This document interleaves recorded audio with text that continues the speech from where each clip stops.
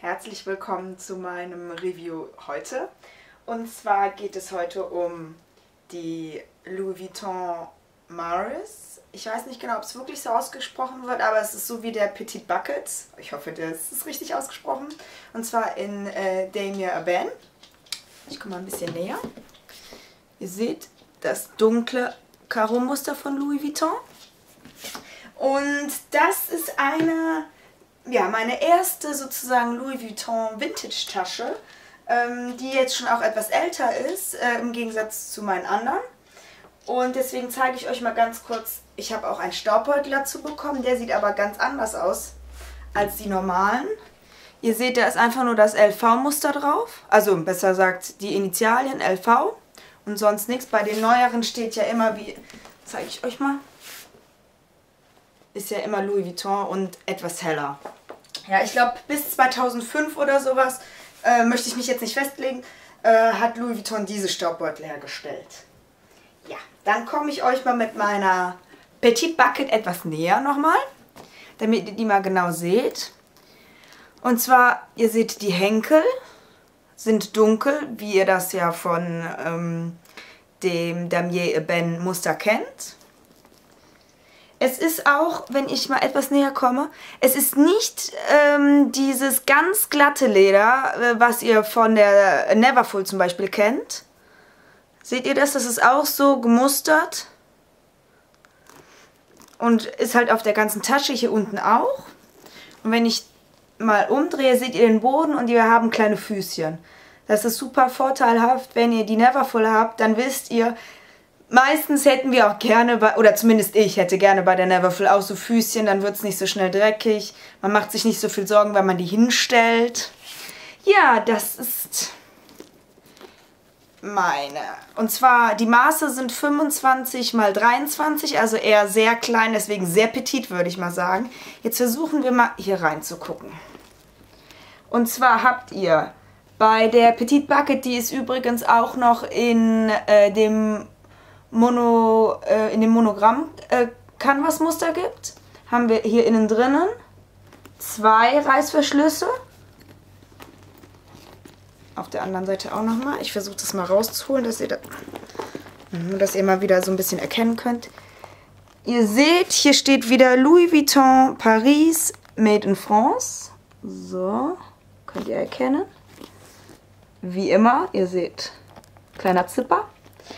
Ja, was bei dieser Tasche, ihr seht, die ist innen drinnen, sieht es wahrscheinlich rot aus.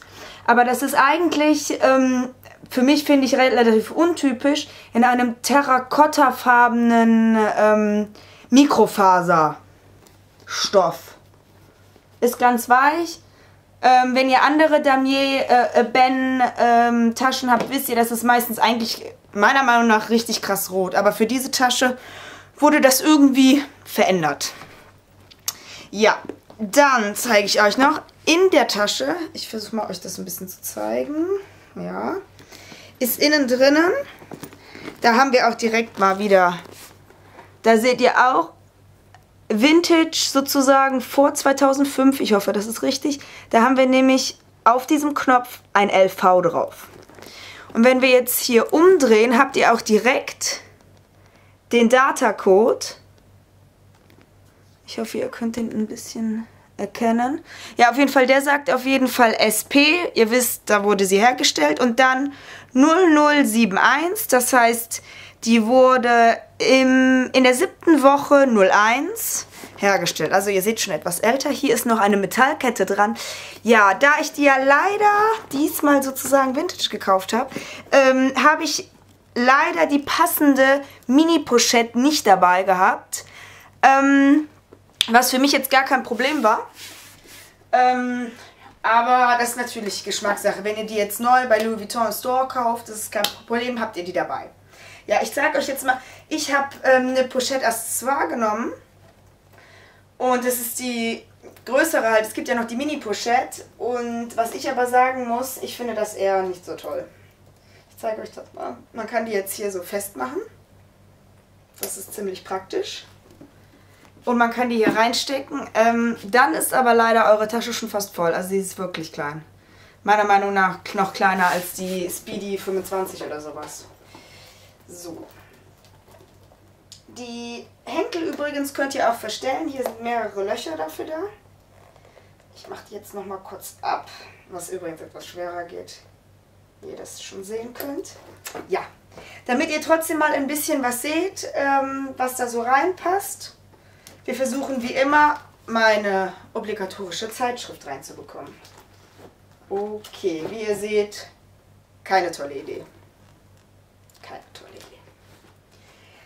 Falls ihr eine Zeitschrift haben wollt, wir gucken mal das Pocket-Format. Ja, das Pocket-Format würde reinpassen. Jetzt nehme ich mal wieder mein Emily-Portemonnaie, stecke es rein, das geht auch noch gerade so. Dann mein iPhone, mein äh, Parfüm. Ich brauche bei diesem schönen Wetter auch eine Sonnenbrille. Oh. Äh, bei dem heißen Wetter ebenfalls ein Deo. Uh, da wird es aber schon... Hm. So, dann nehme ich für meine schönen Urlaubsfotos auch eine Digitalkamera mit, auch wenn man das ja gar nicht braucht. Im Zeitalter von iPhone und Co. Ja, Wollt ihr auch noch einen Schirm dabei haben? Okay, alles klar. Ja, wenn ich euch jetzt sage, ähm, eine 0,5 Liter Wasserflasche passt also rein, würde also reinpassen von der Größe her. Ähm, allerdings ist eure Tasche hiermit schon voll. Ich komme nochmal zu euch. Und zwar, ihr seht, wir können jetzt noch ein kleines Strickchen drauflegen, wie ich das immer so schön mache, aber im Endeffekt ist die voll. Also es passt wirklich, wirklich ist das ein mini, mini äh, ja, Bucket. Wenn ihr wisst, was Bucket auf Englisch, äh, was das bedeutet, ist ja eigentlich Eimer. Äh, so hatte ich mir sie auch vorgestellt, aber sie ist einfach nur süß. Ich zeige euch mal, wenn ihr die jetzt so rum habt. Eigentlich super, super süß, möchte ich mal so sagen. Naja, die Tasche ist auch äh, relativ selten, deswegen, falls ihr äh, denkt, sie wäre gefälscht, ich habe euch ja eben den Datacode gezeigt, das ist eine originale Louis Vuitton Tasche, so wie alle meine Taschen original sind. Also ich distanziere mich komplett von den Fakes, die vielleicht irgendwie im Netz rumwandern oder auch bei YouTube. Gut, ich hoffe, das hat euch geholfen. Und falls ich noch meine Mini-Pochette dazu kaufen sollte, mache ich nochmal ein Update von diesem Video. Alles klar, bis demnächst.